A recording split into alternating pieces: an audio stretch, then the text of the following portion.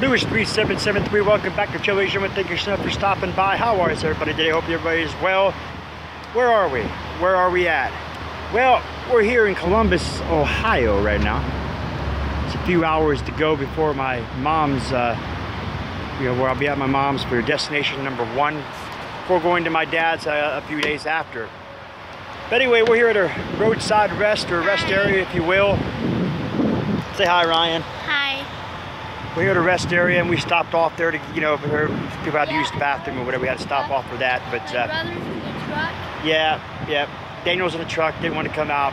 Uh, but anyway, that's where we're at here. This is episode number one. Where's Lewis? Right here on the outskirts of uh, Columbus, Ohio, as we head on to uh, that destination of Massillon, Ohio, my mom's. That being said, I appreciate everybody. Miss y'all. And uh, we are safe. We are doing well. And uh, that's just basically what uh, what situation is. You know, that's basically how how things are going.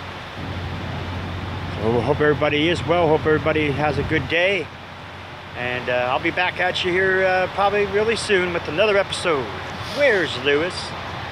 Check y'all later, man. I am out.